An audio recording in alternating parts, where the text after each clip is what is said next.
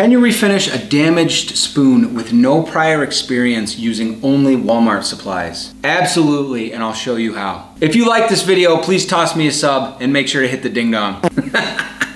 Hey, thank you guys for your time. I appreciate it. Let's get started. Big spoons are so much fun to fish, and after vacation last year, I came home and I had placed some in a bag next to some Z-Man plastics, some Ned rigs, and the paint on the spoons reacted with the plastisol or whatever it is that makes up that ElaZtech, and it had started to disintegrate. It ruined the finish on two of my favorites, and I wanted to fix them, but I didn't have any experience. I don't know how to use an airbrush, and so I wanted to improve upon them, but I wanted to use things that were inexpensive that anybody could access and anybody could use. Now we will be testing the durability of this finish on Thursday Night Fishing with TMF, so I'll leave a link in the description. Make sure you check that out before you go. I believe the end result came out better than the original, and I did it in a way that anyone can do it. Let's get into supplies.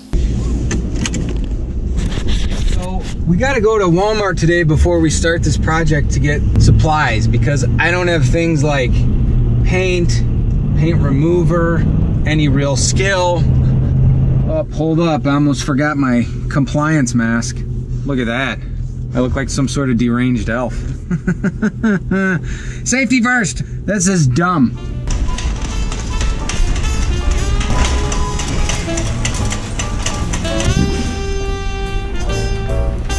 Gloss protective enamel, five bucks.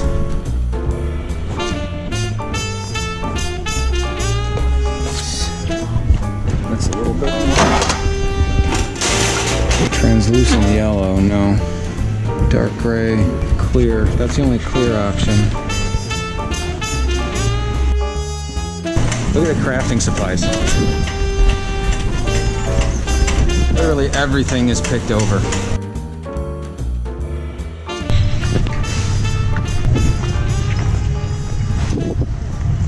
Feels so safe because that fabric.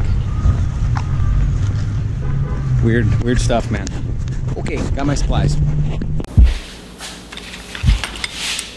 Ugh. So what we're gonna do tonight is we're gonna remove the hardware off of these spoons. I like to use EWG hooks on spoons. I know some guys use like straight shank. I've had less traumatic experiences where the pike will, they'll suck stuff down. So I'd rather get one of these out of their mouth than a treble that they took deep. These were the two spoons that got the most jacked up by uh, the Ned rig stuff. I did another video on Ned rig damage, but all we're gonna do is we're gonna take this hardware off and I'm gonna drop these in some mineral spirits. This is the only thing I have right now that I think can remove paint.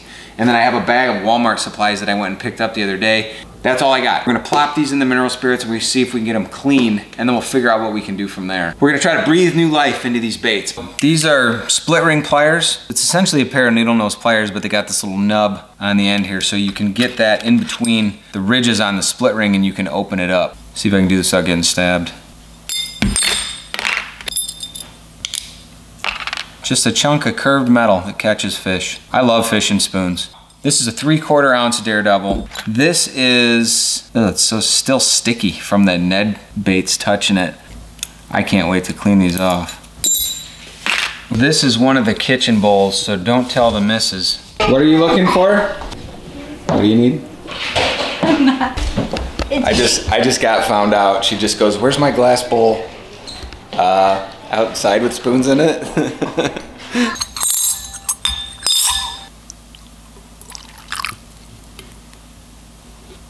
Okay, so I'm pretty sure I gooped this up.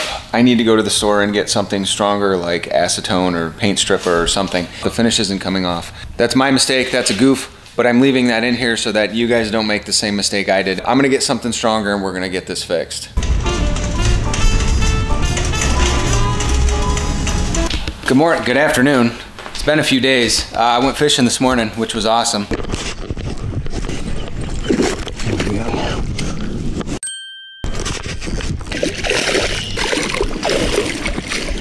That's the type of hooks that we want right in the top of the mouth. The mineral spirits didn't do the job. Went to Walmart, picked up a stripper. I think this is the right tool for the job. So we're gonna put this on the spoons. We're gonna go on about an hour long family bike ride. And then when I come back, I'll check this out and we'll see how it looks. Ooh. oh, I should not have sniffed that. It's probably gonna be gel. Oh yeah. Oh boy.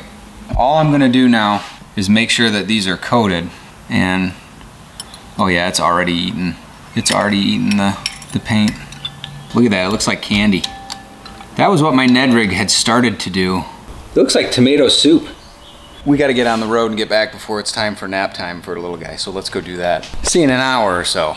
Okay, so it really has been over an hour at this point. I should be able to take these inside and rinse them off, and we should have a clean slate, I think. Yuck, I don't wanna get that on the camera.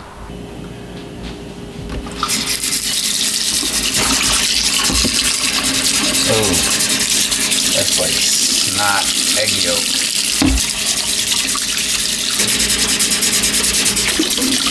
That. Okay, so don't do that, because I just had to pick that out of the sink. Boy, I sure learned how not to do things a lot, don't I?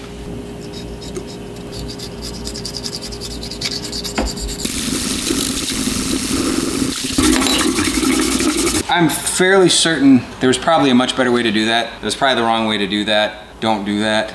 Um, I'm gonna show you how the spoons look. They look great. We're gonna get started painting. I'm gonna show you the supplies I got. I spent a total of $17, not counting the stripper. Don't, don't do that with stripper. That's probably not a good way to dispose of it. My wife's gonna come home and go, what's the smell? Because the whole house smells like Remember I said don't tell her I was using her bowl and she asked about it? Don't tell her I did that. Just don't contact my wife. She doesn't need to know any of this. This is, she'll use these spoons when we're up north and catch fish with them and then we'll all be happy. It'll be totally worth it. Here's, here's the supplies. Here's the spoons, looking sweet. They look good. 99 cents, 99 cents, uh, four bucks less than $2 a piece for red and black, less than a dollar for each of these throwaway brushes. And then this epoxy was $5. And this is the only epoxy I could find. See how that says clear? I am gonna try using, I have a food scale. I'm gonna see if I can get a weight on these and then see what it weighs with the paint and the epoxy. And we're gonna start with our white. I'm trying to do this with stuff that you can get at Walmart or your local hardware store because I don't have an airbrush, I don't have any real skill. We're just trying to fix these things up for the least amount of money possible to get some more use out of them. This is definitely not like a long-term permanent solution, I don't think, but we're gonna test these when we go up north this year and get some teeth into them and see how they hold up, as opposed to just going with just the plain silver. I mean, you could always just take the finish off of it and fish it as a silver spoon. You know, it looks like a Johnson silver minnow. Let's try, I think this is grams. 19 grams. 9 grams. One other thing that I forgot to mention that we're gonna need is this painter's tape. This is something that I already had.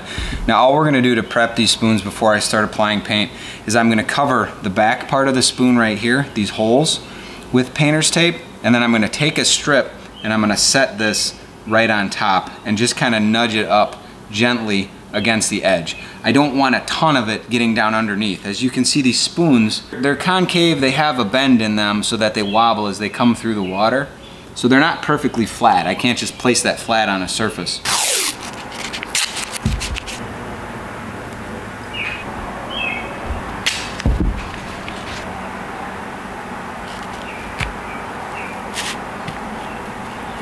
Okay, so two things.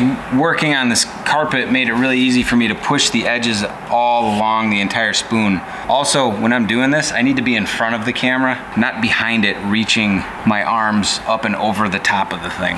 That was something else we learned, isn't it? There we go. Let's get our white going.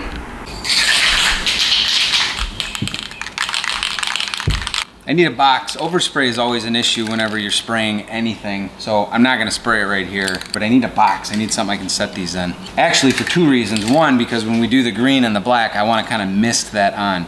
I don't wanna get over the top and just go ah. I wanna be able to open this up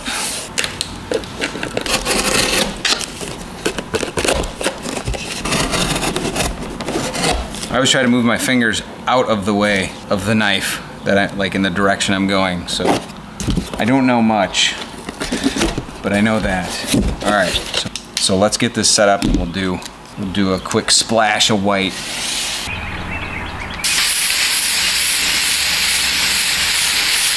So I have something good to work with. We're gonna, we're gonna do black accents on this and then we're gonna do some green over the top of that with some red. And I think that's gonna look sweet. The lakes that we're gonna be fishing this have a lot of perch, they have a lot of bluegill. So that's what we're kind of going for with these. I got a little piece of debris on this bigger one. So I'm gonna pick that off once the paint dries. I'm probably gonna give this about 45 minutes or so. I wanna do this in steps, so both of these are kind of gradiated. It's looking really nice. The next thing I wanna do though is I wanna come up with some sort of way to cover this spoon partially. I want the back to be darker by where the hooks are at. I want it to be lighter up front. I have just a piece of cardboard from uh, an unnamed box of some sort that was in the garage. I'm gonna cut this out, then I'm gonna bend this up just a little bit and I'm gonna tape it inside of my box so that I can go ahead and I can slide this spoon into position and it's gonna be close. Then we're gonna do a smaller one. And then one other thing that I forgot to mention was my wife told me this stuff was called tulle. And this is something else I picked up at Walmart, but if you look at it, what does that look like? Scales. We're gonna attach some on this one right over the white. And then on this one, we're gonna wait until we get all of our colors added. And then the last thing we're gonna do is splash it with white. So it's not just super dark colors. At that stage on this one, we'll place the tulle on. But on this one, we're gonna place it on now. Hopefully that doesn't lift up the paint that we added on top of it.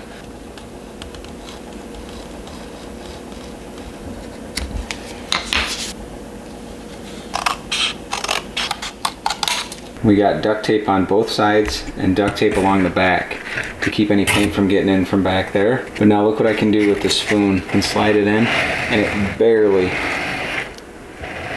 I'm not going to do that too many times because I'm going to get some weird comments. That barely is above the height of that spoon on that side. Okay, so I jumped ahead a little bit here and I've got this tulle pulled down around this spoon. Problem is that since it goes over these edges of the tape, watch the shadow as I pull this tight.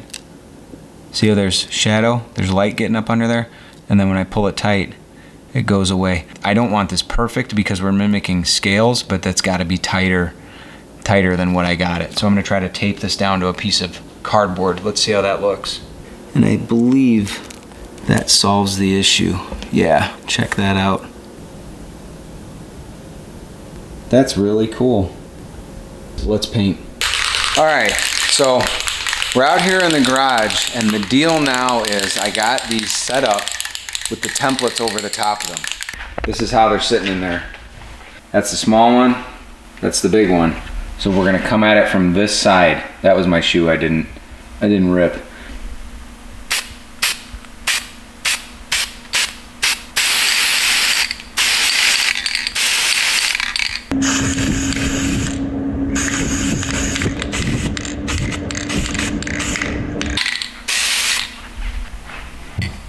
Now we wait. Gonna be interesting. Okay, so both of these are looking pretty good. We're kind of getting the effect that we're going for, and I think I'm gonna hit them with green now. Here's how they look at this point. I think we're gonna have to do some really nice, some feathered hooks. I think I need to dress some hooks to really kind of complete the look on these, but let's hit them with green real quick and see how that looks.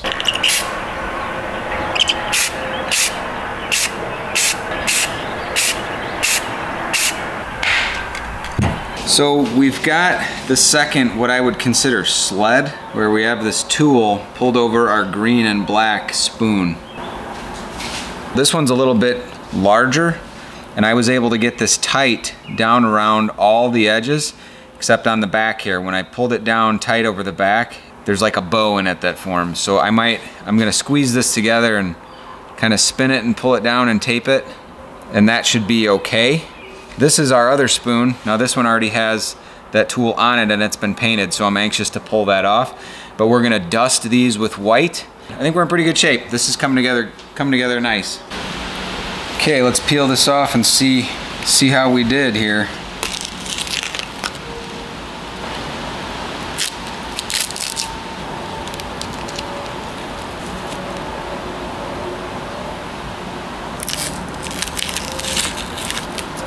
That's way better.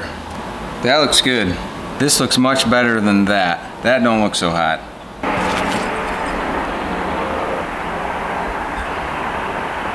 Definitely liking the second method much more than the first. Good morning. So everything dried. I went back and I touched this up. Looks pretty good. And then we have this one, which is darker, it's dark green to lighter green with a scale pattern and that did actually take. I'm gonna put a little bit of red acrylic, just kind of a splatter on there. It's just something with a little more of a colorful flash. Obviously with a spoon, you're relying on the actual color of the spoon for a lot of your flash. So we'll come back and we'll dress up a hook to add to these to really kind of complete the package. But so far so good. So we have some apple red acrylic paint. This is a matte finish. This is not glossy, but that's okay because after we add this splatter effect on here, what we're gonna do is go through with clear epoxy we're gonna coat the paint job. We're gonna weigh it. We're gonna see how much weight that we've added to the spoons and we're gonna select our hooks and split rings, put them on and we should be ready to go.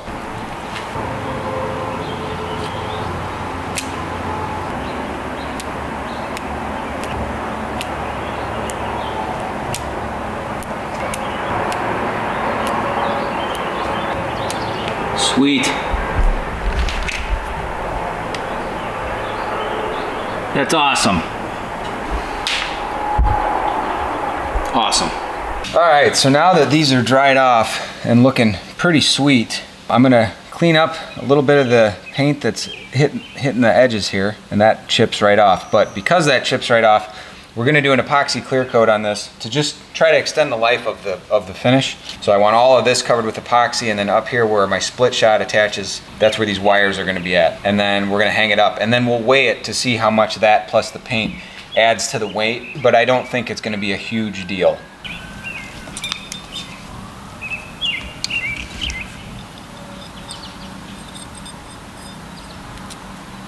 Let's pinch that with pliers and hold it so that the pressure is against the pliers, not against the spoon.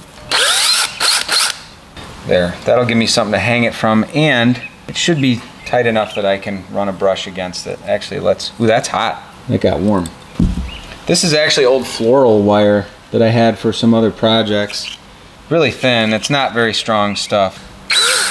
There, that'll work.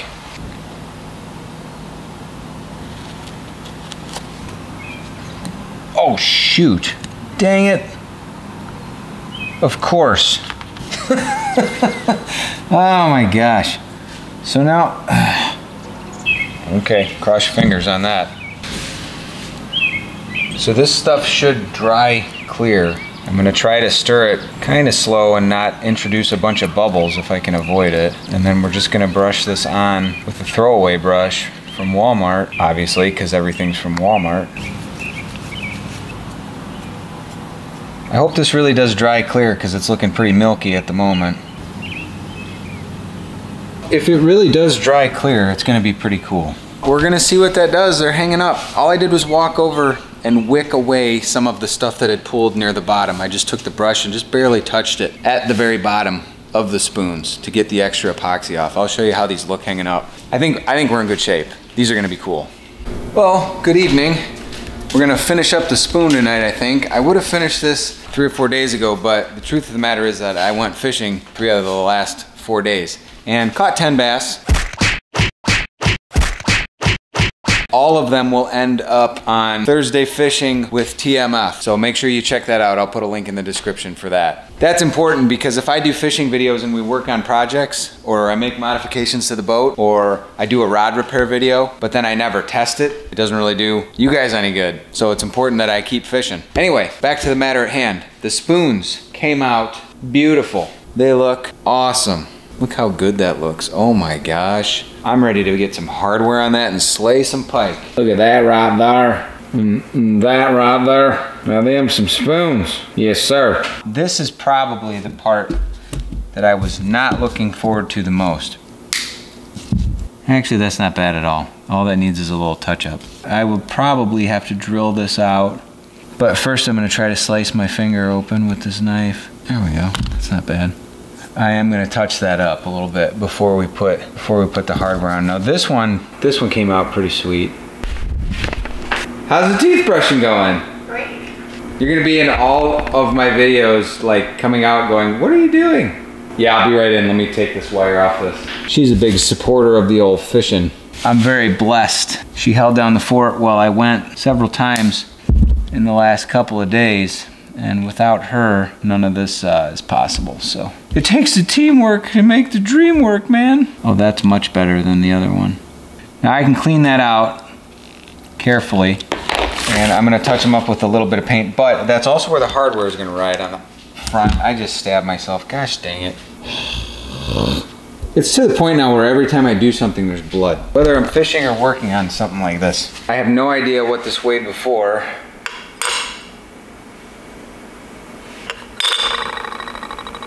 That's reading 20. I don't understand how much grams are, so that I shouldn't act surprised like I know what I'm talking about. 10. 10, we're going with 10. Interesting. I think all that's left to do real quick on these is a little bit of touch up and then I'm gonna put the hardware on it tonight. They look really cool. I'm really happy with them, especially considering this is the first time I've ever done anything like this and we used Walmart supplies. Not too shabby. They're gonna work. We're gonna test them when we go to Wisconsin in a month and I'm gonna tape it. They're gonna work. They'll work. They'll work. They'll work.